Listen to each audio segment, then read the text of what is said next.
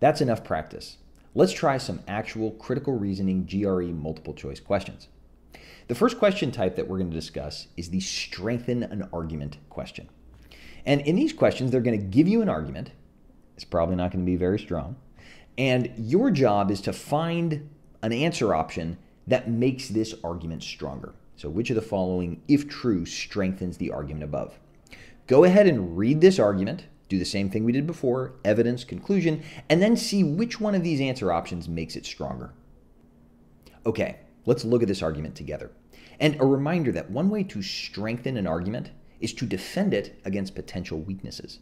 So, as we read this argument, it's very important to start looking for problems even before we look at these answer options.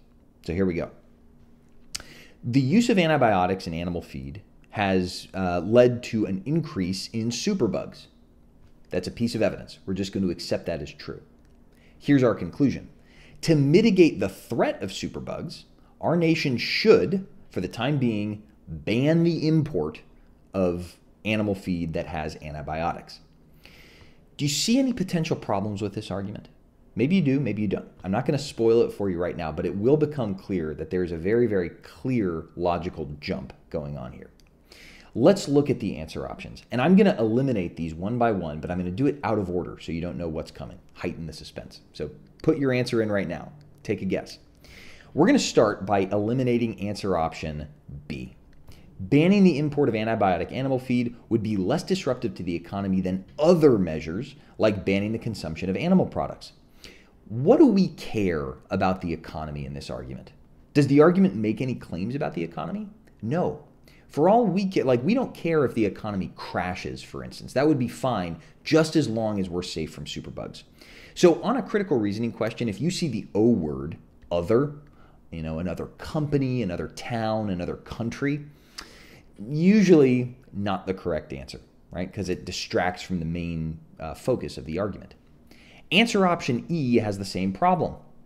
Some scientists argue that superbugs are a necessary risk in order to provide enough output for the food supply.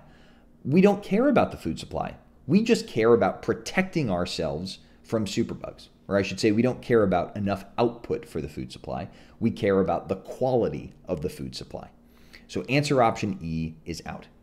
The next one we're going to eliminate is answer option D. Although animals in foreign countries consume the same feed, superbugs are much less common abroad. And we're starting to get at the, the weakness of this argument, but this one kind of goes in the wrong direction. If anything, this, this, uh, this weakens the argument, right? If it, if it happens that animals in other countries are doing better than our animals, maybe we should import their feed, the feed that they're using, right? Again, we're starting to zone in on what the problem with this argument here is. So D is out. Now we're down to A and C. And A is unfortunately a wrong answer. It's a very popular wrong answer, but here's the problem. A simply adds more evidence to the argument. But it's it adds more evidence to, to a premise that we've already accepted as true, that superbugs are bad. We already agree that superbugs are bad. If we add more evidence saying just how bad superbugs are, that doesn't strengthen the actual logic of the argument. It doesn't get us from A to B. So, answer option A, although tempting, is a great example of an answer option that strengthens evidence rather than strengthening the argument. Those are two different things. I'm adding more to a premise that I already accept as true. The correct answer here is C, and let's talk about it. Going back to the argument, the major weakness is this word. And very often on these critical reading question, reasoning questions, uh, it, it all hinges on one word. This argument says superbugs are bad, therefore ban foreign animal feed, ban the import of, of animal feed. How do we make that jump? How did we go from foreign? How did we go from uh, antibiotics in animal feed is bad to we shouldn't buy foreign animal feed. Well, in order for that assertion to be true, in order for that uh, jump to be made, we need to show that foreign animal feed is somehow worse than the stuff that we produce on our own. And answer C does that. Answer C provides that bridge, right? Answer C says animal feed produced domestically contains 50% fewer antibiotics than imported feed.